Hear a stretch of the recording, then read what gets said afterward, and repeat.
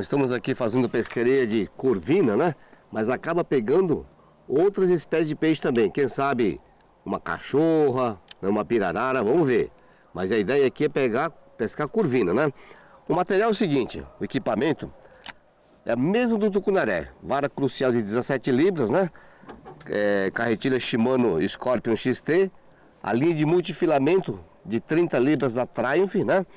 E o líder, líder é, de fluocarbono também da Triumph, de 35 libras. Bom, o que é o jumping jig? Essa isca de chumbo, essa isca na realidade foi desenvolvida para pescar no mar. Só que na água doce também dá excelente resultado. Aí o seguinte, é, tem dois suporte hook, ok? E o jumping jig, né? Jumping jig, existem vários modelos, várias cores e pesos diferentes. Eu estou usando aqui um billy de 24 gramas, né? E o Vitor está usando um bunny de 30 gramas. Mais leve, um pouco mais difícil para sentir o fundo. Pegou, Vitor? Aí, Vitor. Aí, isso. Capricha aí, moleque.